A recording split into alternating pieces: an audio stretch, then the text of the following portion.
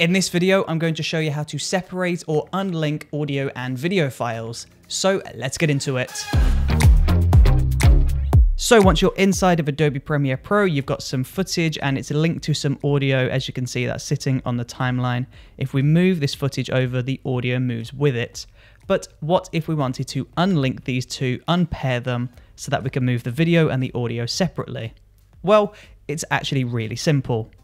Select the video or the audio, right click, and go up to unlink. Now from here, I can move the video and the audio stays put, or I can move the audio and the video stays put. Now separating your audio and your video is really beneficial because it means if it's slightly out of sync, then you can unlink, move it back in sync, and then you can just right click and select link.